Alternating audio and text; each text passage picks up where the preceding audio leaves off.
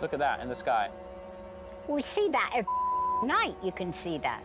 What? A, Something going on like that across the hmm. sky. that is not. a. that is not a satellite. It's a falling star. A falling. What the slowest? Ball lightning. The, it, eh, you can't say it's ball lightning because the sky is crystal clear, not a cloud to be seen. It's called clear night ball lightning. Very rare phenomenon. Look at that. It's a shooting ball lightning. And my mind, if you, if you looked up in the sky and you saw that, you'd go, no, they're here. Right? You absolutely would. That's pretty cool, actually. How long is it going on for? Long time. How big's the sky? That's a weird one, though, right? Yeah, it is. I've been watching a lot about stars lately. Mm-hmm. And you know, the stars out there that are like 10 billion times bigger Oh yeah, like our, if you see on a scale, our sun is like this, and the other ones are like this big. huge. Yeah. And they're that big. They're too big to eat themselves. Yeah.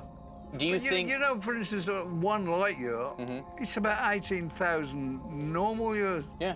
So when they're like, oh, the nearest star, it's only 45 light years away, you're like, yeah, that's gonna, that's like a, A billion light. yeah. It's like You're insane. gonna be dead when you get there, Yeah. mate. You'd be dead before you. 18,000 years. You'd take off and you'd be dead. They'll figure it out. Smart people. I, I, I've got a funny feeling eventually they'll find a shortcut. to- Oh, they'll figure out the wormhole and, you know, all the, how the aliens do it. They think that in every galaxy, at the center of it is a supermassive black hole.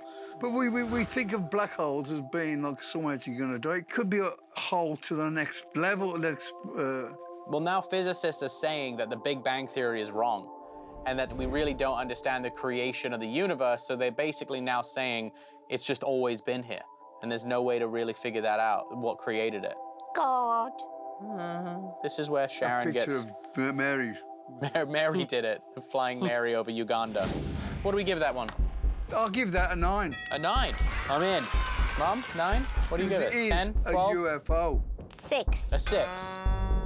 Well, it looks like the re-education of my father is working. However, Mum, we have a long way to go. We might have to change up the tactics. All right, so this next clip comes to us from Monterrey, Mexico. It's very well known. Uh, in fact, I have friends who traveled to Mexico to investigate this clip, and their investigation left them with more questions. This is from May 17th, 2006. Ahí está, mira. El- que ahorita el pulso de Maracel. It's like a witch. That's exactly what they say this is. They say it's a witch on a broom. On a broom. Stop. But look, it's It's red. a witch, it's an ex-girlfriend of mine. I don't know, he just got bin bag. But it's red. You can see when it goes in front, you see this, it's red Yeah. and black. A red bin bag. If he was a witch, he'd have a green face and a black. Big black hat. And you're going, If he's in a valley, you've got like a. Uh, a gut, like wind gust. But because of that, it's in a valley. th- This is a strict no-fly zone. So airplanes and helicopters aren't no, allowed but what. I'm saying, it's not a bag. It's, it's a bag. It's a balloon or. You think it So- just someone's like filled Some something kind with of helium? yeah, some kind of um, That's creepy. It looks parachute like a goblin. or I mean, Looks like the you- Green I can see why they say it looks like a witch. witch on a broomstick. All right, Woogie Boogie scale. Where you at? I'll give that seven. You give that a seven. What do Mom, you what do you give give it? Um, six. Our next destination on our paranormal journey is Iceland, so we can visit with a mysterious creature. Oh yes. Uh, okay, apparently Iceland has a strong belief in elves. Before we watch, here's a fun fact for all you elf lovers. Um, Iceland. Ronnie Iceland James Dio was an elf. R.I.P. Um, Icelanders believe that elves live in a parallel universe to humans and can make themselves visible at will. They're basically interdimensional beings. All right, this clip's weird because this thing, I have no idea what it is and it looks very human-like. This is August 11th, 2020. Look at that thing. Look at it. What the is that? See that? Look. Yeah, it looked like a. It looked like a um, lizard, right? Yes, just No- like a lizard. No lizards in Iceland.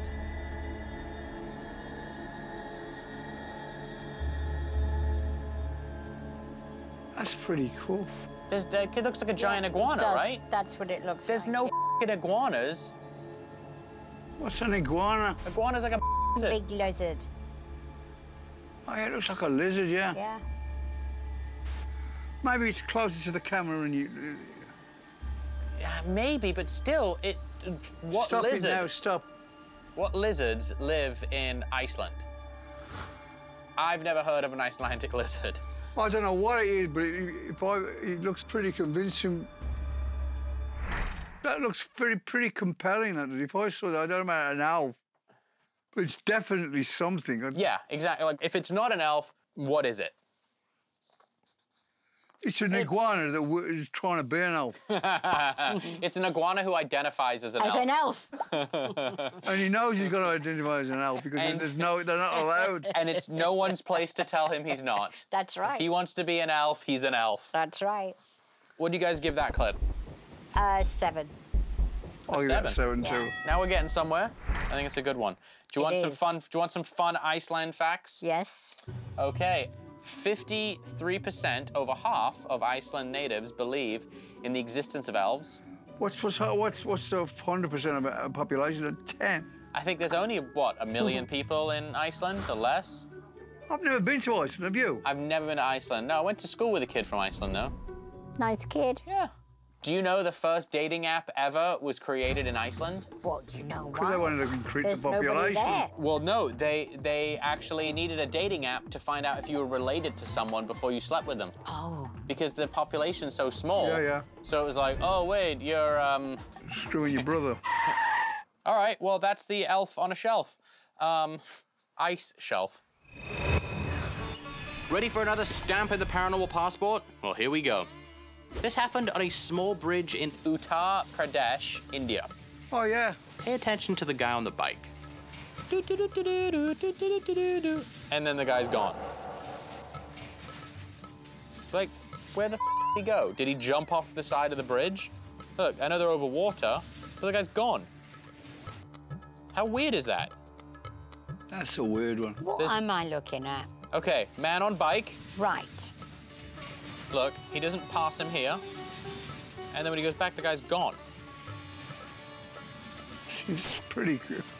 If that would happen to me, I'd go. And I've got to get one of them bikes. A flying bike. it's the interdimensional bike. So the guy who filmed this clip, named Ankur, did not notice the biker until he went back into randomly looking at the video on his phone. It still haunts him to this day, uh, and he believes there is He some couldn't connection. have jumped off the side, could he? We'd through the bike as well. Well, that's that's, the one only thought. thing, Yeah, that's the the only only thing is the thing. Not guy unless just he went. dumped, but he, would- he would have gone quick and he would, he would, I he'd have mean, been a splash and he would have stopped the car, so wouldn't he? one, two, like you should have. He's got no head. he has. I just don't understand it myself. I don't understand like. I can't work that out. I can't think of anything it could be. Apart from a, a ghost. What do we give that one? Seven? Seven, mum? Five. Five? Yep. Oh,